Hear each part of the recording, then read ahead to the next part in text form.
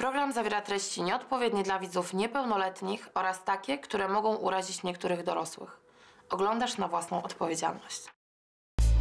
Później wyleciała z takim pomysłem, że w ogóle ustawi mi grafik, kiedy mogę podrywać, a kiedy nie. Soboty i środy nie wyrywasz? W sobotę i w środę nie podrywa? Dziewczyna, w sobotę jest najwięcej dup na mieście, a ty mi mówisz, że, e, żebym w sobotę nie podrywał. Halo, coś tu jest nie tak.